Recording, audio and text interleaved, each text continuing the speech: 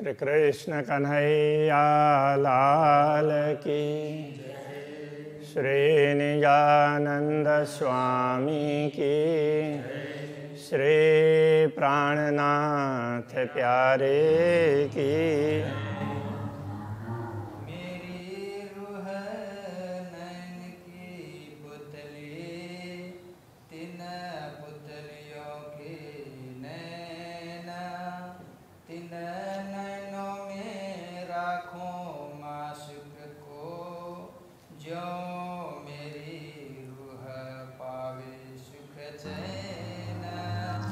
ज्यो मेरी रूह पावे सुख चैन श्री कृष्ण कन्हैया लाल की।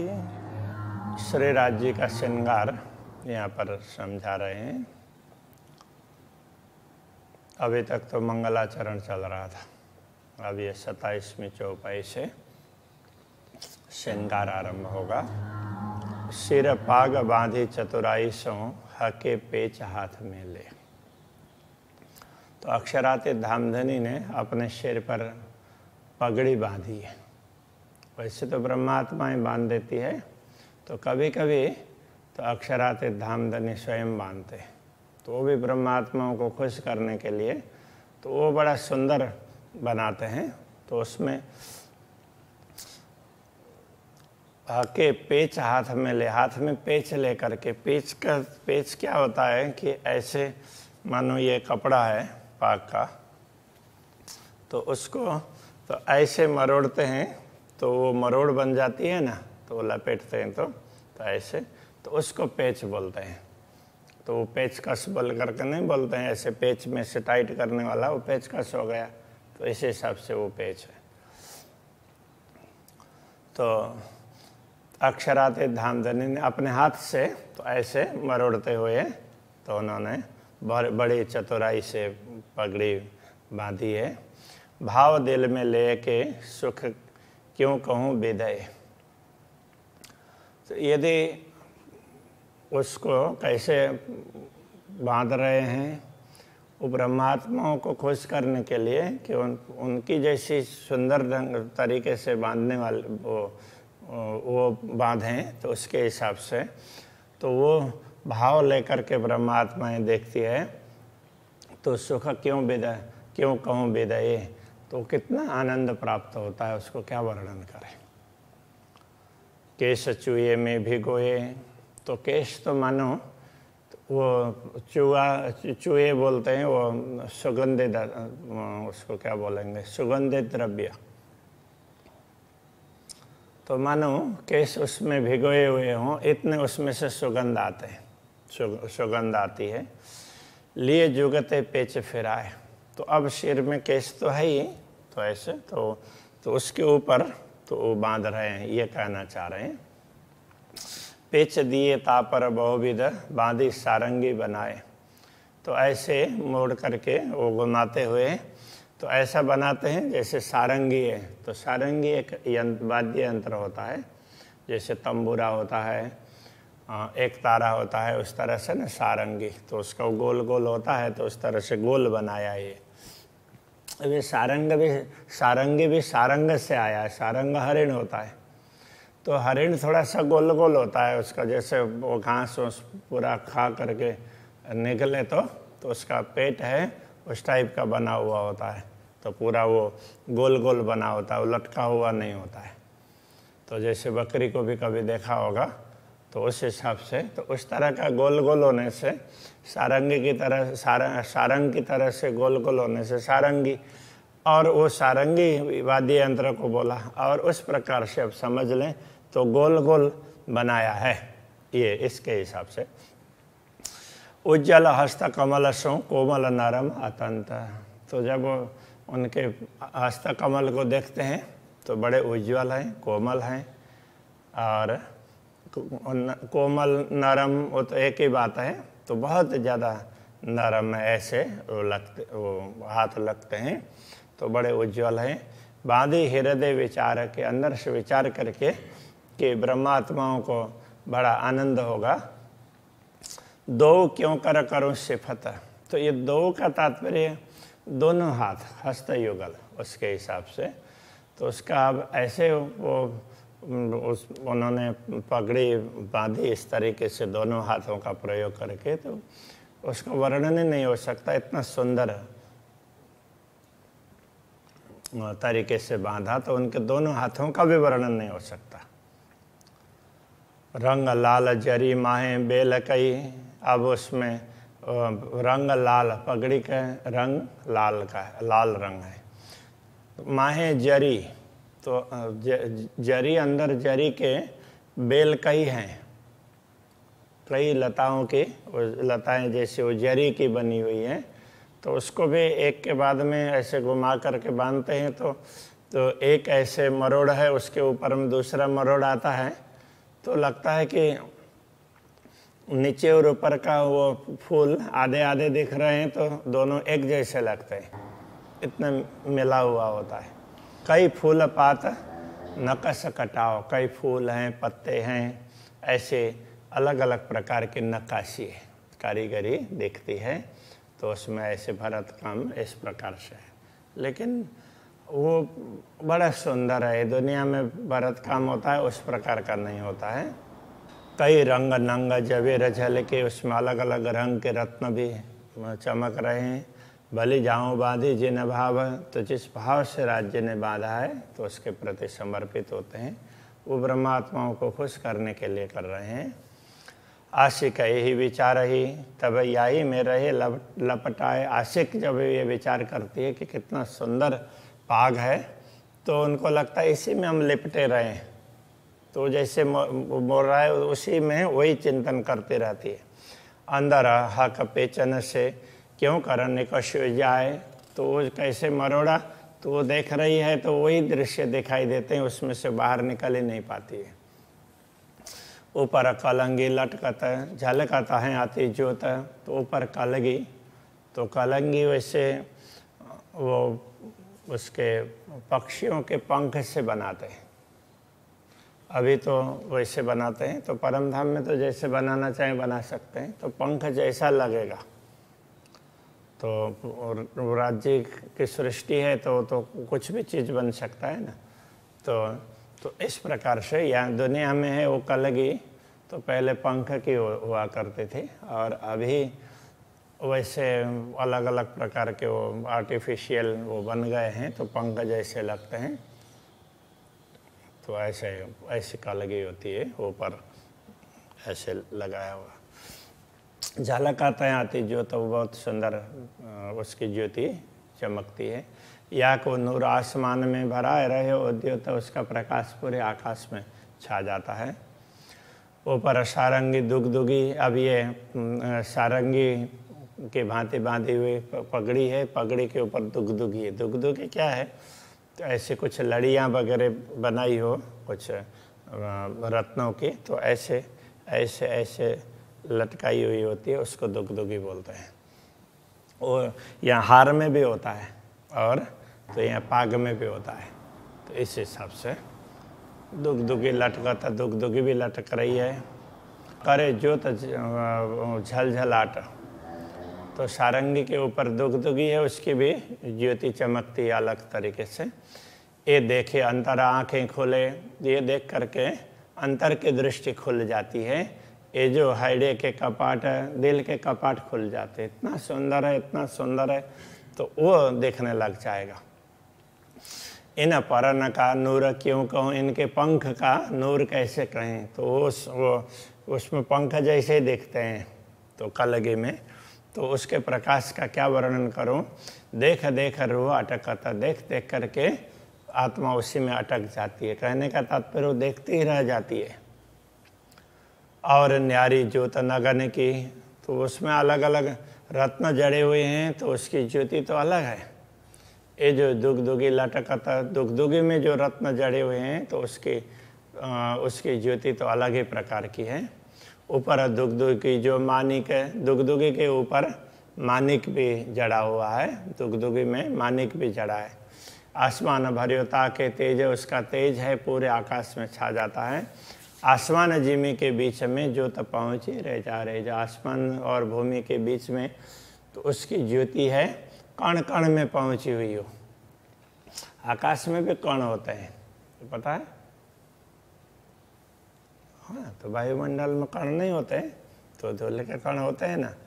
तो वो, अब वायु के भी कण होते हैं, वो तो सूक्ष्म होते हैं, इसलिए नहीं दिखाई देते हैं। तो ये कण कण में कहेंगे तो सर्वत्र तो ऐसा हुँ?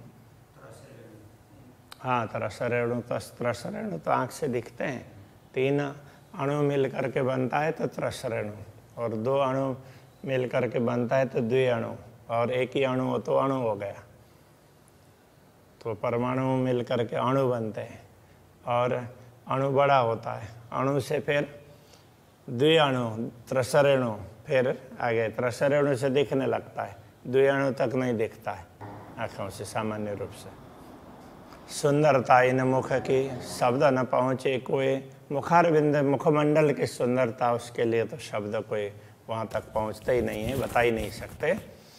नूर को नूर, जो नूर है कि न मुख कहूँ रंग सोए, मुख का रंग क्या बताएँ? उसमें तो प्रकाश ही प्रकाश निकलता है, इतने उज्जवल है, जिसका वर्णन नहीं कर सकते।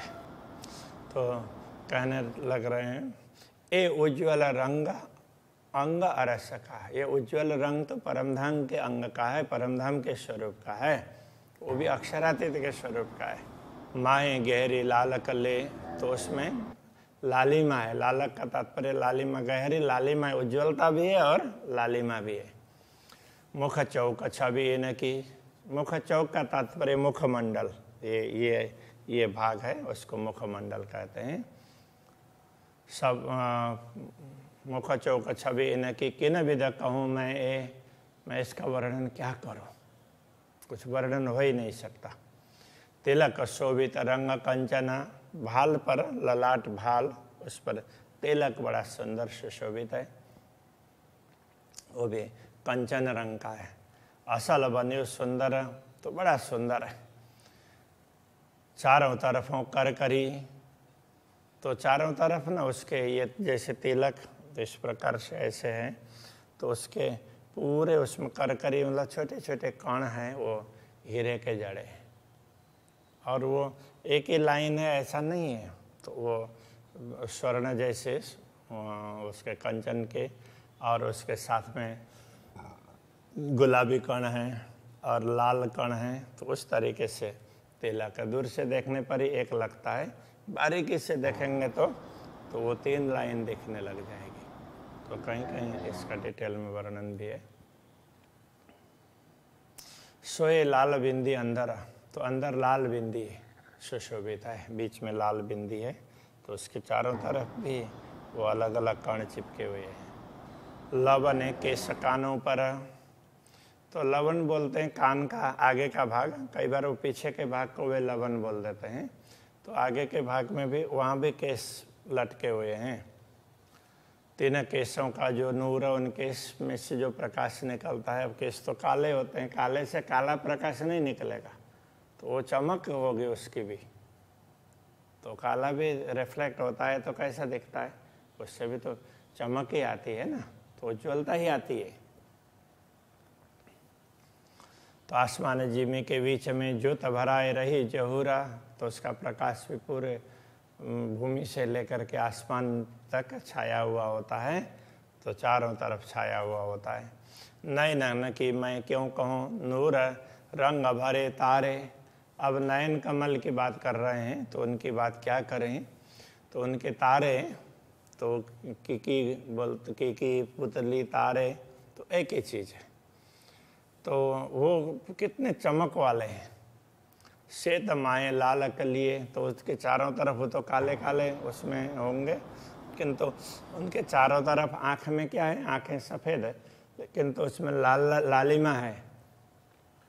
ऐसा होता है। श्वेत माए लालक लिए सोए टेढ़े, अनियारे।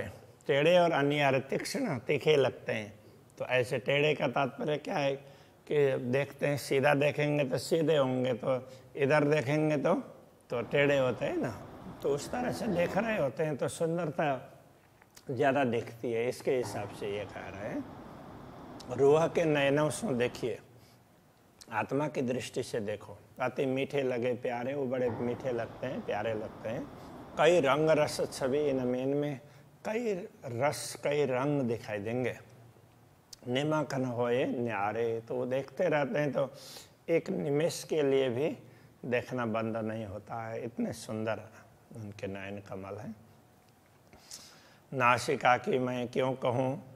कोई इनका नमूना नहीं, नासिका की बात तो क्या कहें, उसका कोई नमूना उदाहरण ही नहीं है। जिन देखिया सो जाना ही वाके चुभ रहे हैरे माए। जो उसके दर्शन करते हैं तो उनके हृदय में वो चुभ जाते हैं मतलब हृदय में अंकित होते हैं। उनको ही पता होता है, बाकी औरों को पता नहीं होगा। कान न मोती लटकता, कान में तो वो मोती लटकते हैं। तो वो कान में कुंडल बना है तो वो उस तरह से बना है। उसमें मोती होते हैं। ऊपर छोटा होगा, उसके बाद में फिर बड़ा मोती होगा, फिर बड़ा होगा। उसके बीच बीच में वो लाल लाल माणिक लटके हुए होते हैं।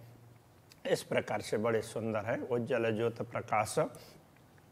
बीच लाल की लालक, बीच में लाल रत्न की लालिमा है। ज्योत मावत नहीं, आकाश, उनका प्रकाश भी आकाश में समाता नहीं है। लाल बाला, अरस धात का करड़े बने चार चार। तो इसमें जो बाली का तात्पर्य वो मन के ऐसे लटके हुए ऐसे वो लटकन होती है ना तो सीधी है तो उसको बाली बोलेंगे। ऐसे होंगे तो दुग दुगी होगी उसमें भी करड़े मतलब ऐसे मरोड़ जैसे, उसमें उसमें मरोड़ हो इस तरह से। करड़े बने चार चार तो चार मरोड़ जैसे दिखाई देते हैं। इन मोती और लाल की रूह देख होए, देख देख होए करार। ये मोती और लाल माणिक्य, उनको देख करके आत्मा तृप्त हो जाती है।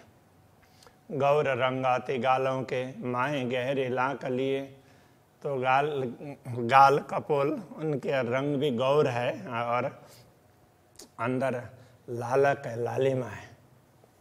दो भ्रकुटी बीच नासिका, ऊपर सुंदर तिलक दिए तो दोनों भ्रकुटी के बीच में नासिका है और उसके ऊपर में सुंदर तिलक है। तो इस प्रकार से भ्रकुटी का वर्णन कर रहे हैं।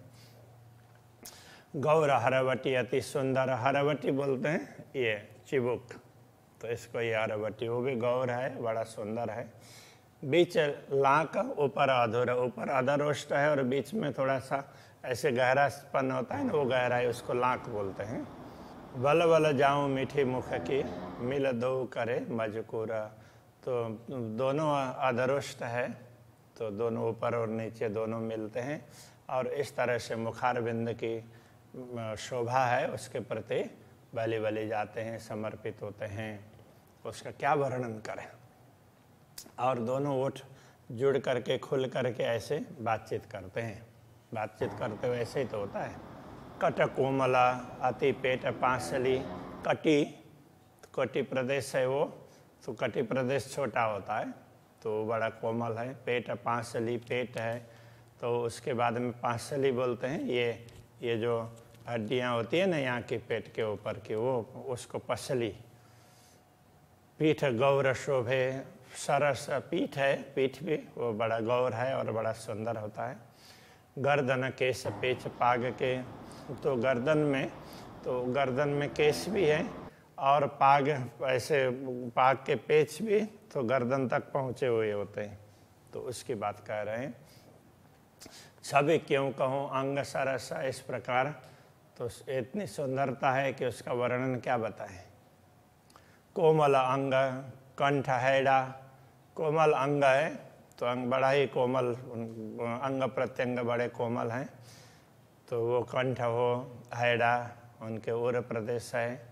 खब्बे खब्बे ये स्कंद है, मच्छ बोलते हैं भुला, भुजाओं के लिए। और वो भी सब गौर और लाल है।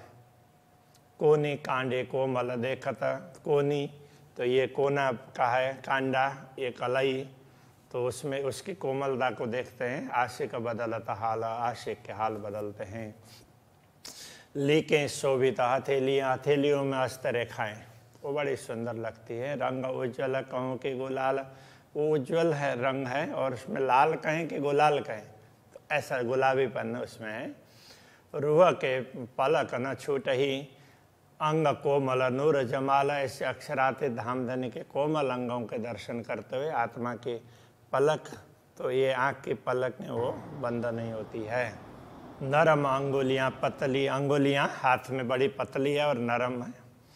पहुँचे सलू की जुदे भाई, ये पहुँची है, वो भी उसमें भी कोमलता है, वो अलग प्रकार की कोमलता दिखाई देती है। रंग सलू की पहुँची, हथेलियाँ, हथेलियों की कोमलता है, उसमें भी अब इधर पहुँची से हथेलियाँ सख्त होती है, लेकिन उनमें भी कोमलता है और वो अलग प्रकार की है। कि न मुख कहूँ, चित्त लाए, चित्त लगा करके वर्णन करते हैं तो किस मुँह से वर्णन करें? वर्णन नहीं हो सकता। नयन श्रवण, मुख नासिका। नयन है श्रवण है, मुख है नासिका है। मुख छवि अति सुंदर है। इस प्रकार ये मुखमंडल है, बड़ा सुंदर लगता है। देखता ही आशिक अंगों चुभ रहता है अंदर। देखते ही ये सारा दृश्य है, और आशिक के हृदय में चुभ जाता है, अंकित होता है। बीड़ी शोभित मुख मोरत जब मुँह में पान का बीड़ा लेते हैं तो वो थोड़ा सा वो ऊँचा नीचा बना हुआ होता है तो बड़ा सुंदर लगता है। ले तो तम्बोल रंग लाल, वो अदरोष्ट लाल हैं तो वो तम्बुल तांबुल का भी वो लालिमा आ जाती है। ए वर्णन रुआ तोलों करे जोलों, लगे न हाइडे भाल। तो ये आत्मा तब तक वर्णन कर सकते जब तक ये दिल में पूरा पूरा नहीं चुभते हैं। जैसे चुभ जाएँगे तो फिर बोला ही नहीं जा सकता है। बोलते बोलते फिर बंद होना पड़ता है। जानो कई यौवन नौतन। ऐसा लगता है कि कितने ही नूतन यौवन है, कितना यौवन, अनेक यौवन उसके साथ, वहाँ पर एक साथ हुए हों, ऐसा लगता है। अजो चढ़ता है रंग रस और वो नित्य बढ़ रहा है। ऐसा कायम हमेशा इन विध अंग और ऐसा तो ये तो अखंड स्वरूप है तो ऐसा स्वरूप हमेशा ऐसा ही रहता है। तो वो कभी घटने वाला नहीं है। दुनिया में शरीर है यौवन होने के बाद में फिर धीरे धीरे घटने लगता है। श्री कृष्ण कन्हैया लाल की जय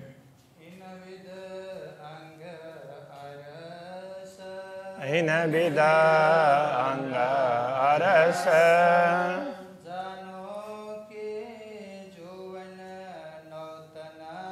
जानो के यौवन नौतन।